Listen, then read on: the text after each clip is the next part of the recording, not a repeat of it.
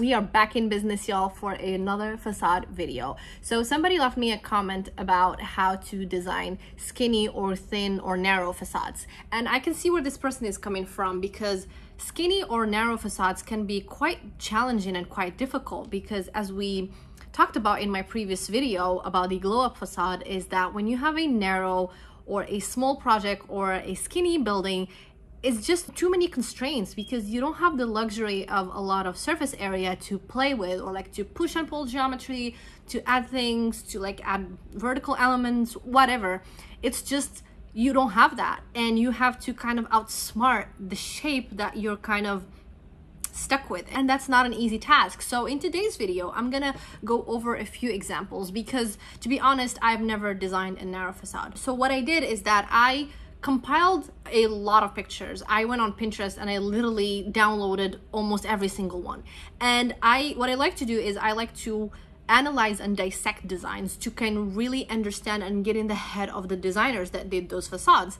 And I boiled it down to five or six principles that kept repeating because I started seeing a pattern after a while and I'm like, hmm, I see what this designer did because somebody else did it you know similarly or like but they just changed the like the materiality of it but the big idea is there. So i'm gonna share my screen and you know kind of like do our usual analysis and um, hope that will help you you know kind of choose what you want to do with your design facade if you're designing something skinny or something in a narrow facade. So let's get started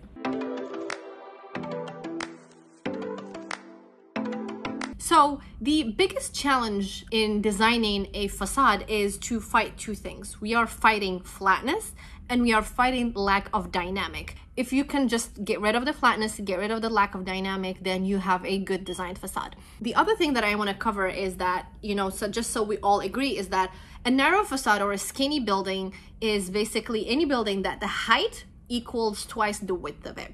So what you end up with is usually a a vertical rectangle.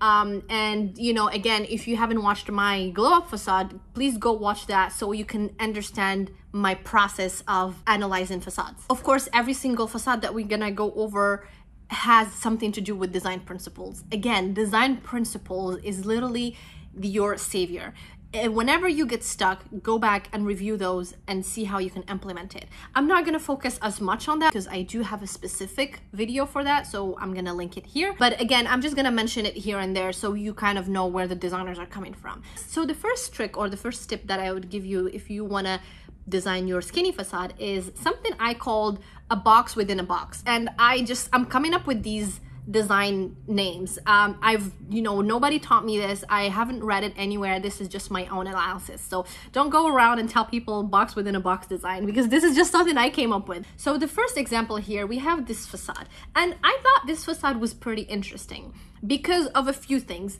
But the main thing that we are focusing here is, again, the box within a box. So if you notice, the first thing here is we have a kind of a main box that is in the foreground. Um, and then the designer added another box that is a small box. So, so here's a design principle question for you. So what does a box within a box do? Actually gives contrast because you have the big box and you have the small box. Because um, if you only have one big box, then nothing is kind of um, fighting against it or nothing is giving that um, visual interest. So the box within a box that already kind of fighting your flatness. You no longer have a flat facade because you have the background and you have a foreground. Besides that, the designer here also did something pretty interesting and pretty cool is that they added arches. And the arches, what they do is they give depth. When you have depth, again, you don't have flatness and also it gives this um, kind of a, a movement or kind of something is, is moving backwards or something that is you know receding and i think that's a pretty good design element because the eye is not you know just looking at something static um, and besides that, they also played very nicely with the materiality. I'm not sure what this white thing is, but I think it has kind of a modern look and they mixed it with brick and um, I, I, feel like it's it's a beautiful facade. So the second example of the box within a box is this one right here. If we go and um, add the our main box and then we have a, another small box again that gives the depth and you um, you just fought flatness and you don't have that anymore. The other the other interesting thing here is that not only there is a foreground and a background, the designer also shifted the boxes, giving it a kind of a movement or kind of you know like like sliding. And then what does that achieve? It's just combating the lack of dynamic or the static look. And besides that they also came up with this nice uh, gray screen that breaks that stucco or that just white um, concrete facade or whatever material that is. So that's also a pretty cool example. So we have another example here is um, same idea is we have our main box and then we have our small box. Uh, here there is something interesting that I want to mention. Not only there is the contrast of the big box and the small box um, background foreground there's also something interesting in terms of the big box. So if you notice there is something that that designers can do to give a sense of depth to to give a sense of depth to the facade. And that is by adding these little corners that make the facade look like it has depth. And that adds a nice touch to a small skinny facade that doesn't have necessarily the luxury to go you know either sideways or in terms of height but you go in terms of um, so if this is the y-axis the x-axis you're going in terms of like the z-axis which is the depth axis. So that kind of give a, a nice uh, three-dimensional uh, look to the facade. Now um, that's for the box within a box. So now we're gonna move to our second design trick. And I call that again left right right left. Sorry these names are sound funny they sound silly but seriously this just makes sense to me and I feel like this is the best way to kind of explain it so now let's look at left right right left the left right right left is basically trying to most of the time fight lack of dynamic it's not necessarily about fighting the flatness or giving depth but it's more of like kind of having movement or guide the eye through the facade. So if you notice here, we have this side here, which is the left side where the wood is. And then we have a more of um, a, a landscape or more of a horizontal um, design element. And then they just keep on going like into a kind of a zigzag mode. So um, the, the pink is, you know, boop, boop, and then here, and then here. And then for the um, the the wood balcony then you get it here and then you have it here so you're just kind of going like the green green green green and then you got pink pink pink pink. They're kind of alternating between the wood balcony and um, that concrete white block. So it's kind of staggered. And that gives a nice you know visual interest um, to the facade. So let's look at this um, other example here. Um, we got um, this wood element here. And then it just keeps on moving to the side like that. And there's like a dance like toot, toot, toot, toot, toot, toot.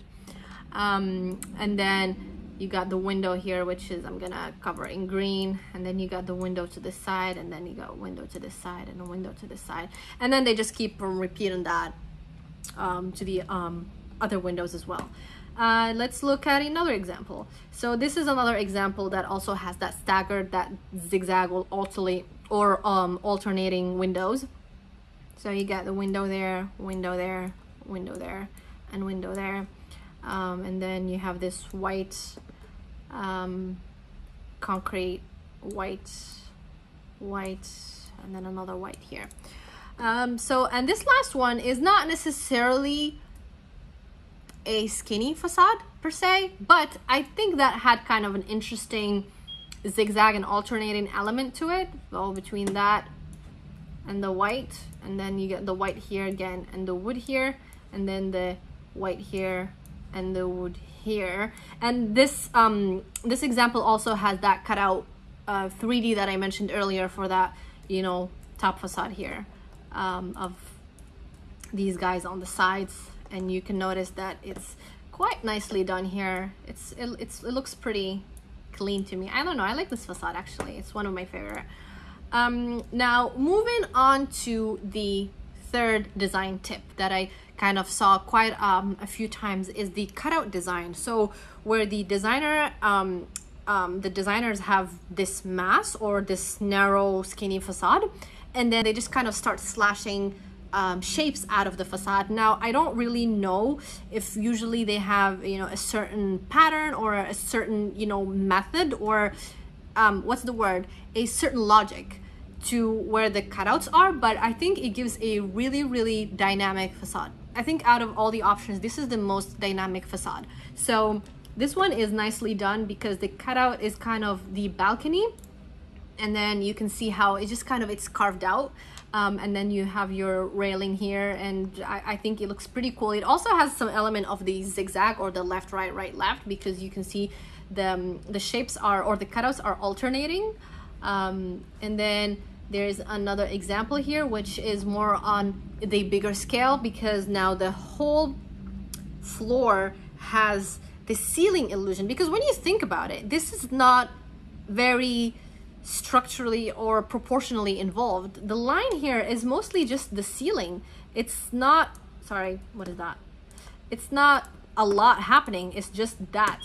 So what you do is basically just have a ceiling and then have a continuous line that goes inside and it cuts the ceiling. It gives it the illusion that you're like doing some really interesting geometry, but it's not that you know, not, it's not that interesting, but it's not that complex. That's what I'm trying to say. But it is very interesting because you don't have to sacrifice a lot of space. It looks functional because, you know, you didn't really waste your, your balcony. You still have the, the whole view, unlike this previous one where you feel like part of the balcony is kind of hidden behind this, uh, the mass. Uh, but this one is, uh, I think this was pretty clever. Why does it do that, man? then you have the line there and then you have the line going that way and then that way and then you have the line going that way it also has a zigzag effect but um, I would call this more of the cutout because it looks like the ceiling is just slashed or um, there's more of a geometry involved which is not really the case uh, here is a another one where there's also again the um, cutout effect. Again the cutout it gives a really three-dimensional look to the facade because if you notice there's always a line kind of like going inside. Um, and it's just very you know like sharp and dynamic and you know just happening. There's just a lot going on. Um, uh, here is another facade um, with the cutouts. Again you can always notice these slashed lines uh, there's that. Um, yeah I think uh, I don't know this this this right here kind of looks static to me. Why did that become pink all of a sudden? But yeah it looks pretty flat this this um, triangle here but but overall of the facade looks good. Um, here's this one. I don't know how you know practical this is but it's it's a good example to look at. It's something worth um, noting. Uh, it looks like it's kind of AI generated but I don't know so yeah that's uh, pretty much the third concept moving on to the fourth design tip is the continuous strip. So the continuous strip is basically an element that starts at the bottom or at the top and it does not break. It just keeps on going, keeps on going throughout the entire facade. And it gives a guidance to the eye to just kind of look throughout the entire facade. Um, and this example, they have this wood element that you can see. It just goes on like like that, that. It just stop doing this pink thing, man. It just keeps on going like that, like that, like that, like that. Um, and it also has, you know, when once it gets to the balcony, it becomes this glass and i think it's nice to just kind of break it otherwise it will be too chunky and too heavy so it was kind of clever to just add that slit of glass to give it a, a little breather um, at each floor so that's one example for the continuous strip. There's another continuous strip. This one has the continuous strip but I this is not necessarily my favorite because um, it still looks flat to me to be honest. Um, you know you got these U shapes uh, strips but I feel like this facade could have been a little better because yeah this looks flat to me so. But um, anyways so now if you notice, it also has a zigzag effect because there's the U shape here and the U shape here, U shape here, U shape here. Yeah, because honestly, I didn't even notice that before when I was, you know, looking for the photos and analyzing them. I just noticed that because if you see, they all share something because there just isn't that much to do with a skinny facade. You have to, you know, just you have these six or or five tips, design tips, and you just have to like shuffle them um, and combine them a certain way that looks good for your purpose or for your design. So now we're moving to the fifth design tip and I call this the rule of two thirds. And I've seen this rule of two third being used in a lot of different shapes, not necessarily just skinny facades. And there is just something about not breaking something in the middle because symmetry is not dynamic. Symmetry is very static. It's it's very expected. You have something, you break it in the middle, this side looks identical to this side, and that's about it. You know, there is nothing interesting, there's nothing exciting. Symmetry is beautiful when it's done in you know like classical design or something historic you know if you notice you know most of old buildings really really religiously followed symmetry and that's beautiful but it's not really something that you can do in a skinny facade symmetry. So you have to break that symmetry. So the rule of two third is basically you take your um, vertical rectangle and you break it into three parts.